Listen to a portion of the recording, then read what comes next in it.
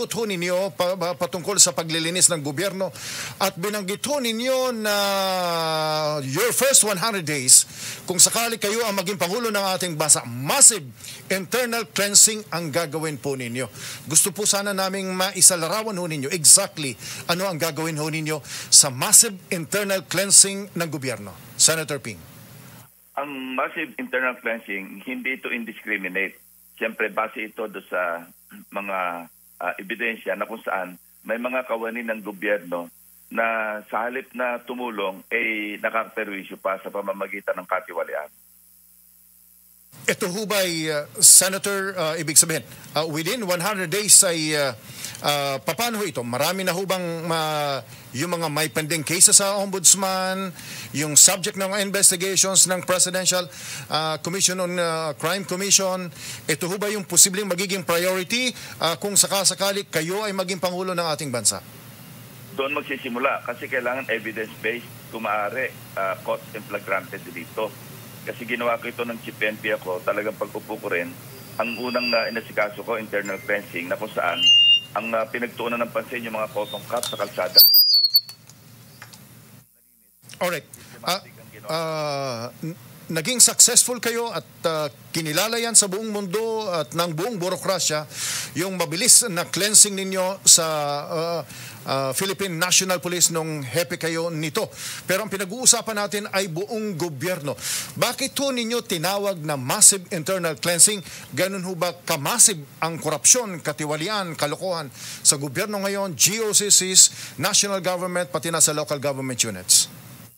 Kailangan lang natin kumausap ng mga karaniwang kababayan natin na nagtatransact ng business sa mga iba't ibang opisina sa ating uh, gobyerno. At uh, sila na mismo magpatotoo na sa halip na tulungan, hininga ng padulas, o kung hindi, hindi pinapansin, o kaya uh, iba yung pinagkakabalahan. So yun ang aking pinupuntirya na kung saan dapat, kasi sa matagal na panahon talagang nawala yung tiwala ng mga kababayan natin sa pamahalaan, sa ating gobyerno.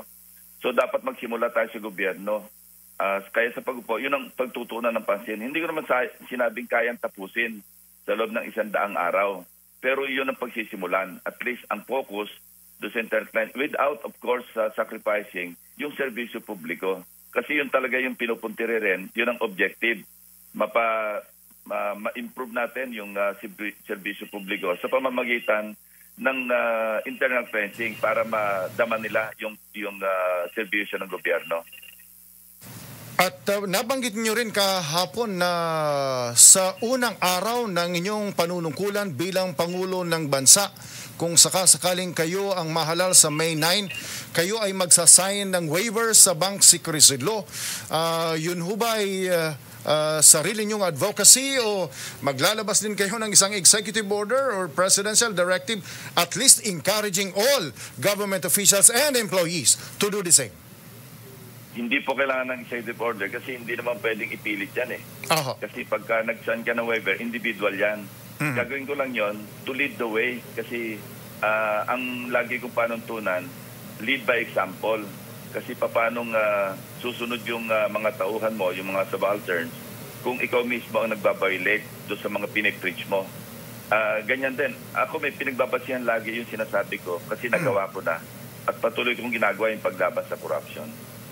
Alright, sa 4,500 more or less na pinipirmahan ng Pangulo ah, sa buong term niya na mga presidential appointees, yung bang waiver ng Bank Secrecy Law ay uh, i-impose ninyo doon sa mga political appointees.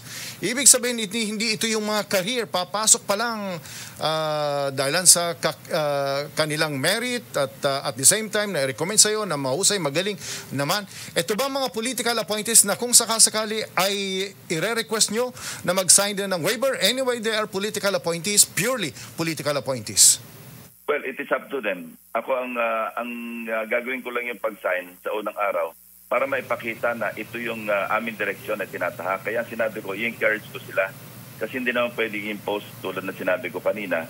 Dahil ito'y ah, rights ito eh. Kaya nga meron tayong Bank Secrecy Act, ah, karapatan na hindi buksan yung kanilang bank account.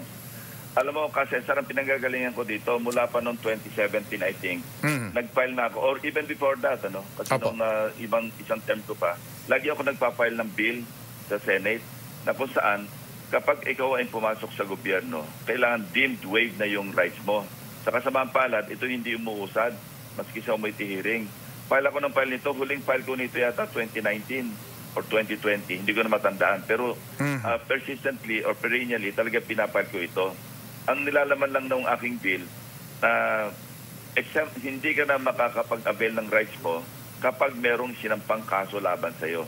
Yun ang nilalaman ng aking bill. Pero dito sa aking sinabi, immat- immaterial, ano? Ah, mas maganda ma sa batas para ano eh, pag inamit natin yung Bank Secrecy Act at nakapaloob doon na pag ikaw nasampa ng kaso, hindi mo na pwedeng, hindi ka na pwedeng magtago doon sa ilalim ng provision na yon sa Bank Secrecy Act kung ikaw ay kawani ng gobyerno.